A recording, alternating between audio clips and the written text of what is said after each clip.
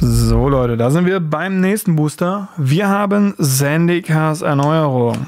Themenbooster, äh, äh, Draft Booster. Warum komme ich denn auf Themenbooster? Draft Booster. Ja, Draft Booster. Damals als Draft noch ein Ding war. Wir haben Ruf des Blutes. Ein Mana Hexerei. Wir bringen eine Kreaturenkarte aus dem Friedhof zurück auf die Hand, falls die Bonuskosten bezahlt werden von drei, oder, Entschuldigung, wurden von drei. Ähm, dann bringt man stattdessen zwei Kreaturenkarten aus dem Friedhof zur Hand. Nicht schlecht. Furchtlose Einigkeit. Zwei Mana Spontanzauber, auch wieder mit Bonus. Kreaturen kriegen plus 1 plus 1, falls man Bonuskosten bezahlt hat, plus 2 plus 1. Hm. Nicht so die beste Karte.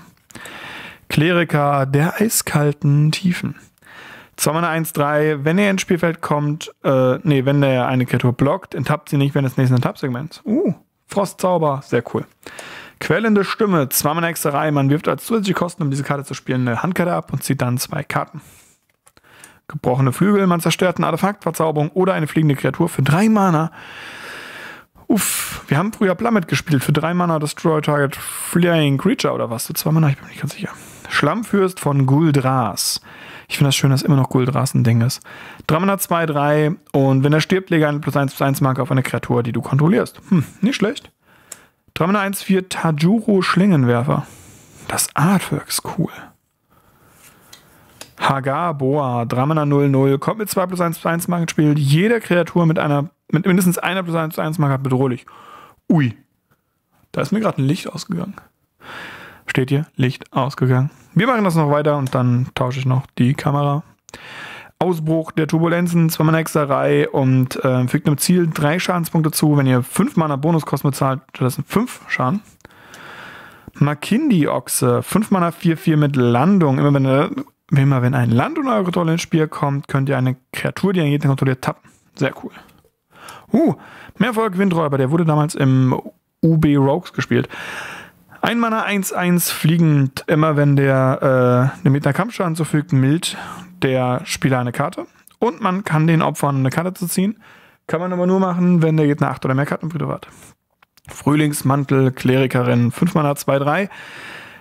Wenn die kommt für jede unterschiedliche Mana, die ausgegeben wurde, mit einer zusätzlichen bis 1 zu 1 gespielt. Das heißt, die kann theoretisch 7-8 sein. Uff. Malakir, Wiedergeburt ein Mana Spontanzauber, bestimme eine Kreatur aus dem, deiner Wahl. Du verlierst zwei Lebenspunkte und wenn diese Kreatur in diesem Zug stirbt, bringe sie getappt wieder unter deine Kontrolle ins Spiel. Auf der anderen Seite ist das Ding ein Land. Kaum getappt ins Spiel, teugt ein schwarzes. Und uh, Jace, der Spiegelmagier. Drei Mana, vier Marken mit Bonuskosten von zwei.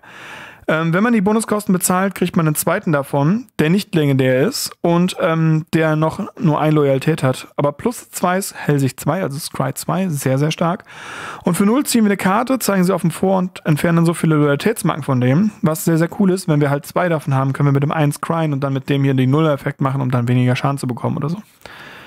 Dann haben wir ein Gebirge und eben die wunderschöne Checkkarte mit einem Magic Bag.